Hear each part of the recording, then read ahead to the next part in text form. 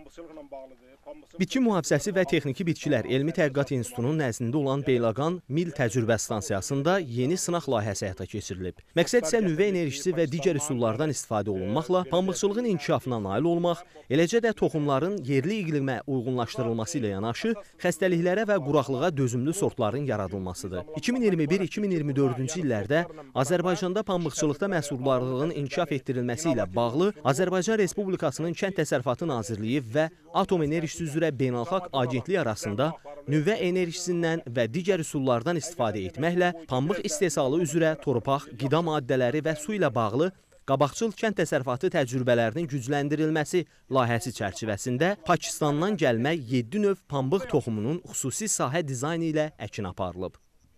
Həqiqətən də burada 7 sortun içərisində, yəni Pakistandan gətirilmiş 7 sortun içərisində 2 sort bizi bu bölgədə daha çox cəlb elədi. Çox yüksək e, göstəri məhsuldarlıq göstəriciləri var. Çünki qozaların sayına görə, bioloji məhsuldarlığa görə bizim yerli sortlardan eyni zamanda Türkiyədən gələn o bəyaz altun 440 sortundan üstün hesab edilir. Yəni burada yəni açığı deyim, burada təxminən bəlkə də bir 30-40% bizim qoza, qozaların sayı, yəni ümumi bizim o e, ənənəvi istifadə etdiyimiz sortlarınkindən üstündür.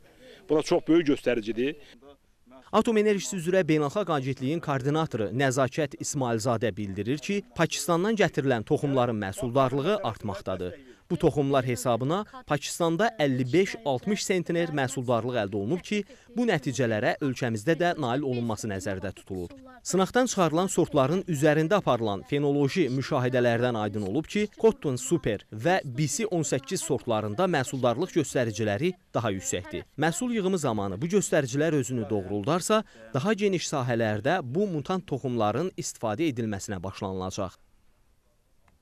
Bu günləri biz burada saydıq. Bir kolda demək olar ki, 40 qoza vardı e, və Pakistan ekspertləri qeyd edir ki, Pakistanın yerli iqlim şəraitinə uyğun olaraq e, əgər innovativ agrotexniki e, metodlardan istifadə etməklə həmin bu sortlardan 55-60 sentner məhsul götürmək mümkündür. Bugünkü bu apardığımız sınaq təcrübə işləri də onu göstərdi ki, kolda olan qozaların artımı, qönçələrin artımı, digər sortlardan fərqliliyi, yerli iqlim şəraitinə uyğun olaraq e, bunu göstərdi ki, bu sortlarda artım var və bizim gələ, bu gələcəkdə, yəni bu illəri pambığın məhsuldarlığında artım gözlənilir.